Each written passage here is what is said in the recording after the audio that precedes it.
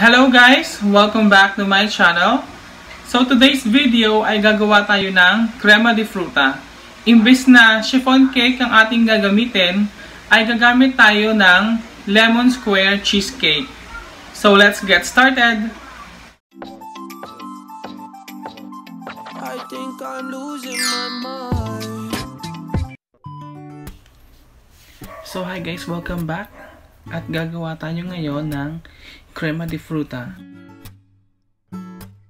Imbes na chiffon cake ang ating gagamitin, gagamit tayo ng lemon square cheesecake, yung cupcake. So, ang isang pack nito ay 10 pieces. So, meron ka ng 10 pieces na lemon square cheesecake. So, buksan na natin at tanggalin na natin yung papel sa bottom.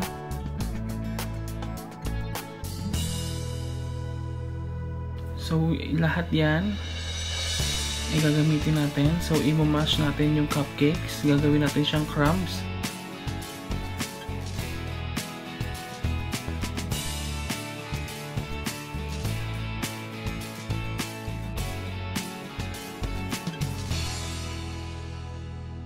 And then, kapag natapos na natin yan, ay i-set aside lang natin. I-prepare na natin yung ating all-purpose cream.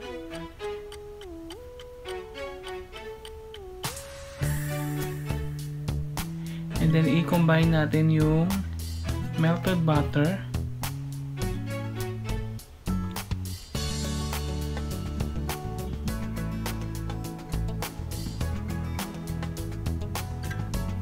And then, ilagay na rin natin yung 1 half cup ng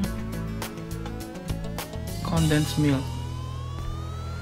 I-mix lang natin until maging well incorporated siya. And then, pagkatapos niyan, ay ilalayer na natin yung breadcrumbs.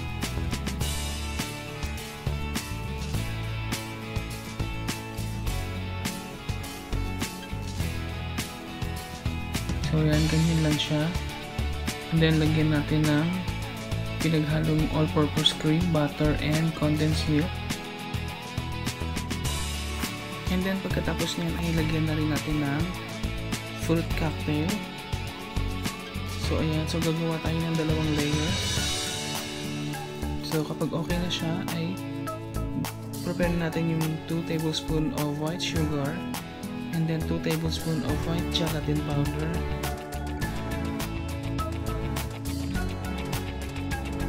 Mix lang natin siya and then lagyan natin ng 1 and a half cup of hot water. Then, mix natin hanggang sa matunaw yung sugar and gelatin. So, dapat mabilisan lamang ito dahil magiging buo siya. Ayan, so itatap na natin siya sa ating crema de fruta. So, ito na po yung pinaka final touch natin.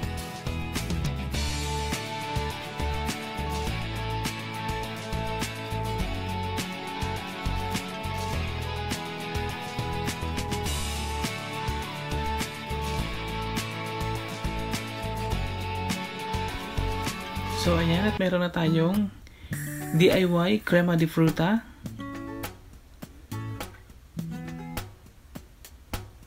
So, kapag okay na, ay takpan at ilagay na sa ref. At kung nagustuhan mo ang video na ito, please hit the like. At kung bago ka pa lamang sa aking channel, please subscribe to my channel and click mo na rin ang notification bell para updated ka sa mga susunod na videos. Thank you for watching! Bye!